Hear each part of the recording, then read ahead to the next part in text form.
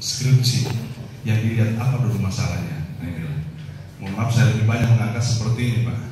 Pendekatan ilmiahnya kita coba tahu apa masalah sebenarnya. Sama halnya kalau di kesehatan. Dari dulu anggaran kesehatan bahkan ditarget minimal 10 Tapi penyakit masih itu itu. Kita ukur saja satu indikator. Apakah kematian ibu dan bayi itu berkurang atau tidak? Kalau tidak, anggaran bertambah terus. Berarti ada di sistemnya sedikit keliru.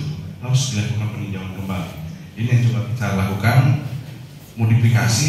Mudah-mudahan ada teori baru yang saya bisa lakukan di Gunung. Dan itu susahnya kami yang ada di pemerintahan kalau di lembaga pendidikan bagusnya apa ada ilmu ilmu dia ber, bergerak terus ada pembaharuan terus tapi kalau kami pak salah sedikit kebijakan sedikit saja menyalahi aturan sudah dikategorikan korupsi harus kita sebar makanya saya lebih kan bicara di kampus pak daripada di kantor kondisi infrastruktur wilayah belum memadai kurangnya sarana penunjang serta pemasaran hasil produksi Masalahnya petani hanya ada dua pada umumnya, baik nelayan. Pertama di modal, yang kedua pemasaran. Inilah masalah klasik kita di mana-mana.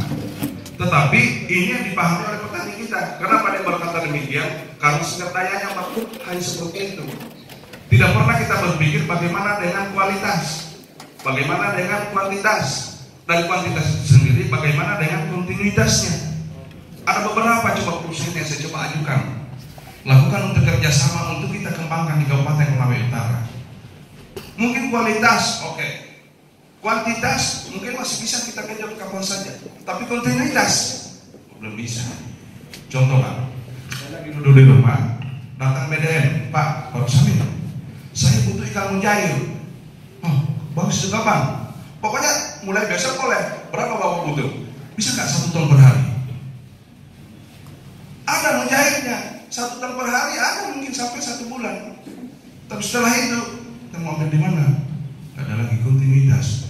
Apakah kita mau putus pasar? Tidak.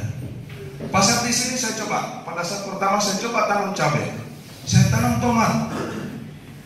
Hari ini saya tidak katakan saya tidak menyuruh kepada ibu-ibu atau siapa saja.